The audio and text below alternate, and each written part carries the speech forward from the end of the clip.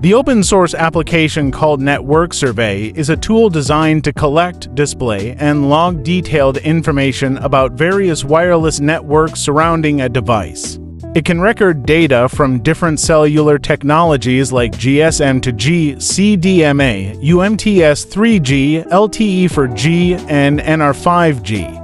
This likely includes information such as signal strength, network operator, cell ID, and other technical parameters. The app can survey nearby Wi Fi networks, likely logging details like network name, signal strength, security type, and MAC address. It can detect and potentially log information about nearby Bluetooth devices.